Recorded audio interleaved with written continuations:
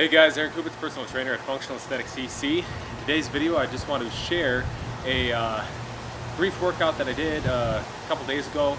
It was a really nice sunny day. I had the day off of the uh, day job, so I decided to take the weights outside and get a little fresh air, kind of uh, muscle beach style. Just working out there, get a little sunshine, some vitamin D, get some fresh air in my lungs while I'm uh, working out. So um, this workout, I basically started it out as almost a, somewhat of a full body type routine, um, but more so emphasized on back and shoulders. So one thing that I like to do sometimes is to do like a pulling type movement, then combine it with like a pressing movement. Um, and uh, main reason for this, especially like if I'm doing, so for example, if you're doing like a uh, you know, you've seen like where you're doing like a bent over row and they could do like a bench press after that or something, and that's a really good one to balance out the opposing muscle groups. But I've also found that sometimes uh, it feels good to do a row and then do like a press or something like that. So in this workout, I'm going to be doing a little bit of that. Also, be going to be doing uh, a little bit of isolation work for rear, rear deltoids and things, and uh, that kind of stuff. And then uh, finish it off with a little bit more isolation stuff for the back.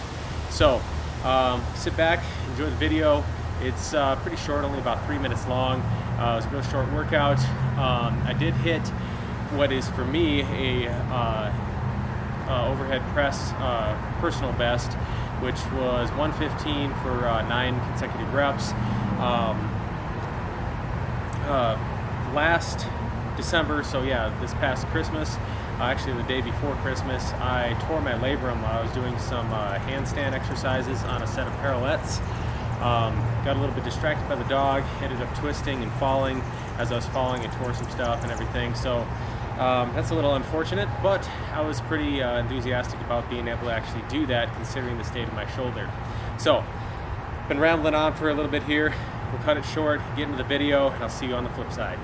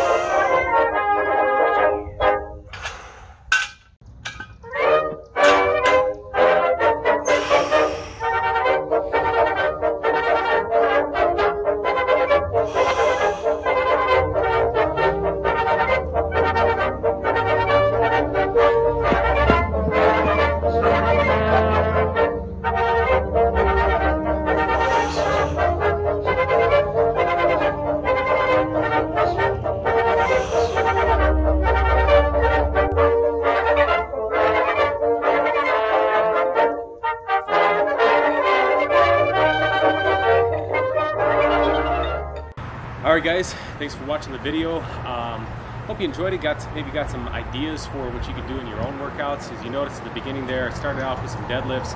Uh, you might also notice I had a reverse grip like this.